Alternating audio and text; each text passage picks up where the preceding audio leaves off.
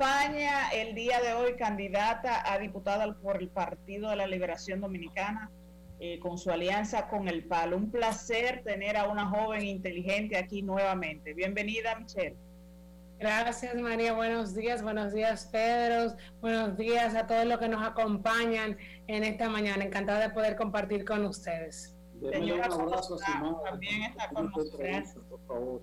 Mira, Michelle además es viceministra del Ministerio de la Juventud y me gustaría a Michelle que nos hable de los programas que están ustedes implementando en medio de la crisis del COVID-19 para eh, mantener la orientación y los aportes, las ayudas a ese segmento tan importante como lo es la juventud.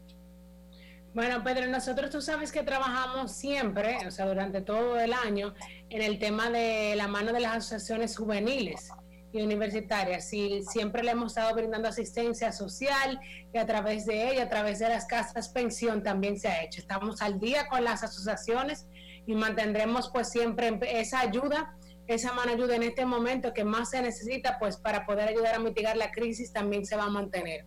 Hemos estado haciendo una serie de lives que ahora en la era digital, pues tanto permite comunicar y así mismo como estamos nosotros, pues también desde el Ministerio de la Juventud utilizando la plataforma de nuestras redes sociales, hemos estado pues llegando mensajes en diversos temas que permitan a los jóvenes eh, conocer e interesarse también para formarse en otros temas, al igual que de las alianzas estratégicas que tenemos con otras organizaciones como el MIC, eh, también así como tenemos con el PNUD, con UNFA, hemos venido hablando sobre el tema también de la prevención y de la sexualidad y de donde también si necesitaran algún kit pues de emergencia y prevención, donde también pueden, ellos también cómo pueden solicitarlos. En este momento el Ministerio de la Juventud pues está también dentro de las dificultades en turnos para poder abrir otra convocatoria digital de las jornadas activas, como hemos hecho, pero como saben que no es una pandemia solamente en la República Dominicana, sino también en el mundo, ha habido eh, ciertas problemáticas para poder mantener, eh, dada la situación de cómo se ha tenido que poner todo virtual y hay clases que tienen que ver y también hace sus acuerdos con parte administrativa que no se han podido llevar a cabo. Sé y estoy segura que es una buena noticia, sobre todo para mí, que me llena de regocijo como viceministra de Emprendimiento, que los próximos días nuestra querida ministra Robiani Balcácer, quien estuvo también de cumpleaños en el día de ayer, pues tendrá grandes noticias para los emprendedores dominicanos, porque vamos a dar un paso más de alianzas estratégicas y acuerdos que van a ayudar a que los emprendedores puedan no solamente mitigar un poco su crisis, sino que beneficiarse a través del Estado Dominicano. Michelle, Bien. Eh, vamos a pasar a, la política. Eh, tú estás haciendo ya campaña, me imagino, como están haciendo los demás, claro, protegiéndote y tomando las medidas necesarias el día 5 de julio, dice el mismo presidente de la Junta Central Electoral, habrá sí o sí elecciones en la República Dominicana. Eh, tú habías dicho que eh, producto del COVID-19 estas elecciones tendrían una votación muy baja. Sí, así es. Yo creo que la gente pues tiene temor, o sea, hay una parte que realmente pareciera que no, que salen y, incumplen las normas y pues los protocolos y el toque de queda establecido por el Estado Dominicano, pero realmente el, tema de que también si la Junta Central Electoral no, no prevé o no les da los insumos necesarios a la gente para ir a votar, aún así todavía dándole los insumos, yo creo que la gente va a tener su temor de ir a aglomerar. Habrá que ver los protocolos que realmente va a establecer la Junta Central Electoral, porque si queremos que nos cuenten los votos, nuestra gente está dispuesta a ir a votar, independientemente de hay que cuidarlas. Y entendemos, entendemos que una celebración de las elecciones pudiese representar, si los debidos protocolos e insumos necesarios para poder ir a votar, un nuevo pico de la pandemia, porque si bien es cierto que en otros lugares se ha dado, y aquí se está hablando del tema de que pudiera existir las autoridades una segunda ola de la pandemia, es producto de la aglomeración y de que la gente no se está cuidando lo suficiente. Ayer, y tú hablabas del tema de la campaña, visitaba una comunidad de jarro sucio en el que, allí me sorprendía la gente en los colmados, y yo, pero señores, y una reunión como de motoconchista, como no está pasando nada y yo le decía, miren, pero pónganse mascarilla. Ah, qué bueno que usted no da una. No dio bien la vuelta, se la pusieron mientras yo estaba ahí y se la quitaron. Y yo, pero señores, y tú sabes que también la cantidad de niños que salen de sus casas, como ya pareciera que los papás están cansados de ellos, salen a jugar con el amiguito, pero sin ningún tipo de protección. O sea, los niños están más desprotegidos y aquí, o sea, creo que la parte, por ejemplo, inclusive hasta de Conani y el INAIPI van a tener que intervenir a ayudar del tema de que tal vez las mascarillas a los niños le quedan grandes, las que se están comercializando. hay, para niños, hay para niños. sí, claro, pero no son las comunes, es lo que digo, que por eso para la distribución es justamente va a tener que, hacerlo. Por ejemplo, en mi caso yo tenía de las de adultos, algunos le quedan más o menos, pero se necesitan de las otras y los niños están muy desprotegidos. La más cómoda para los niños es la quirúrgica. Es más, fácil para ellos eh, aguantarla, porque las otras son hasta para nosotros incómodas. Pero, los niños están mucho tiempo fuera, Pedro, de todas maneras, pero es, un detalle importante lo que ella, eh, eh, lo que dice Michelle, que, van a tener que hacer mascarilla para niños. Porque no todo el mundo tiene acceso a comprarlas también. Y además las quirúrgicas les quedan un poco grandes, entonces no realmente no hay para niños. Hablamos de no, no cubrir la nariz, de que hay que cubrirse la nariz, porque hay mucha gente que ha cogido la moda de tener la mascarilla en la cabeza o en la barbilla. Salud Pública ha dicho que los niños son los más propagadores del virus. Y es justamente creo que por eso, por lo que te digo, de que se están aglomerando de una casa en otra, en los balcones, en las distintas comunidades, en, las escaleras, y van de una casa a la otra.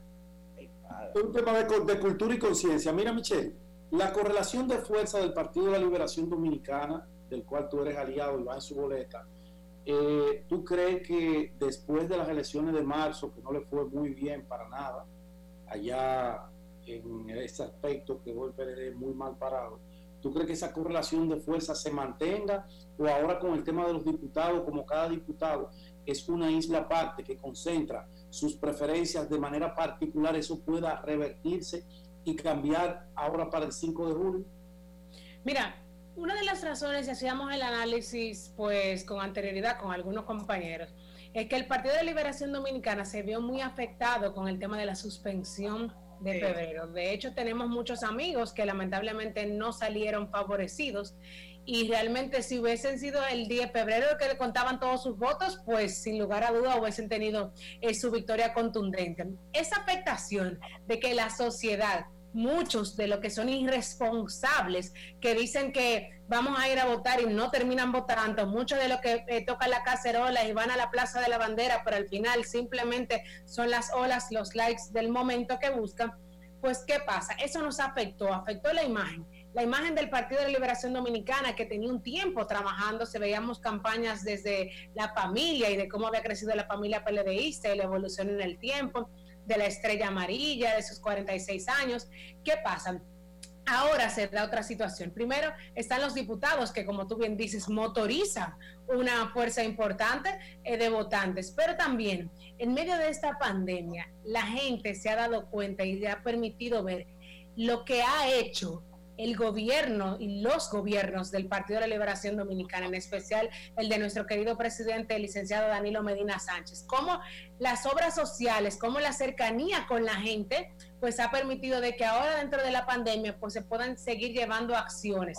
Evidentemente hay muchas cosas que tenemos que mejorar, no somos perfectos, ante, este, ante esta pandemia no teníamos ningún precedente alguno, estamos aprendiendo sobre la marcha y tenemos que seguir creyendo, creyendo en que podemos hacer esos cambios positivos, en que podemos pues seguir las grandes obras de gobierno, pero que todavía lo que nos falta hacer lo podemos hacer. Y en eso se ha despertado pues la ciudadanía, dándose cuenta que un cambio y llegar a la incertidumbre en este momento de crisis, mira lo difícil que ha sido para nosotros cambiar nuestros hábitos y nuestras rutinas.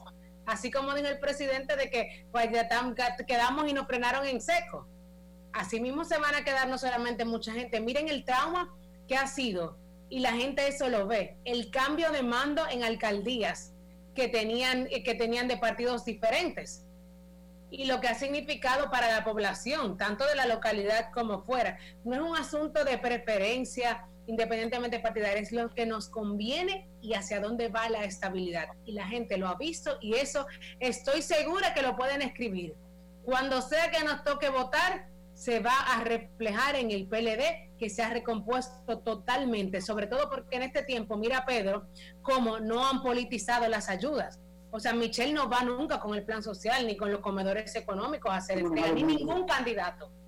Cada quien tiene que hacer su diligencia. Michelle, Michelle eh, ningún partido dividido gana, es lo primero. Lo segundo es, ¿tú crees que aquí, bueno, hay tres fuerzas políticas? el PLD, que es un partido duro, está Leonel Fernández y está Luis Abinader, que está en primer lugar.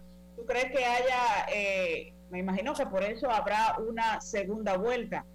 En una segunda vuelta, ustedes van a necesitar por lo menos unos cuantos votos de otro partido. Y este debe ser la fuerza del pueblo o viceversa.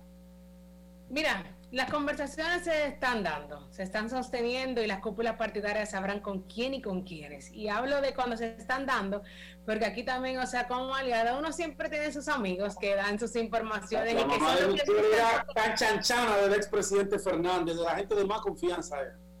Buscan, buscan acercarse pues justamente a través de otros para que sea el interlocutor válido. Sí te puedo decir que el trabajo que ha hecho Gonzalo Castillo en este medio de esta pandemia ha demostrado que es un gerente en medio de la crisis, a diferencia de otros, y eso la gente lo está viendo. Aunque de algún lado quieran decir, como el PRM que dice que en el PRD no hay nada que buscar y que ese partido se desbarató, pero todos los días saca nota de prensa que se pudiera llevar a un PRMista, sea un PRDista, sea cualquiera. Entonces, al final los golpes de impacto se dan ellos no contaban, ni nadie contaba con que íbamos a tener esta tragedia, pero mucho menos contaban en cómo íbamos a salir, pues fortalecido de alguna manera, y eso se está viendo. Quedan siete semanas exactamente para el 5 de julio. Y estoy segura que todavía con acciones puntuales y concretas que vamos a hacer, las elecciones son el día de y ese día ustedes verán que habrán muchas sorpresas. Muchísimas gracias, Michelle, por acompañarnos en Buenos Días RD. Un placer volver a estar contigo. Salúdanos a tu madre y, señores, mañana nos vemos en otra entrega de Buenos Días RD.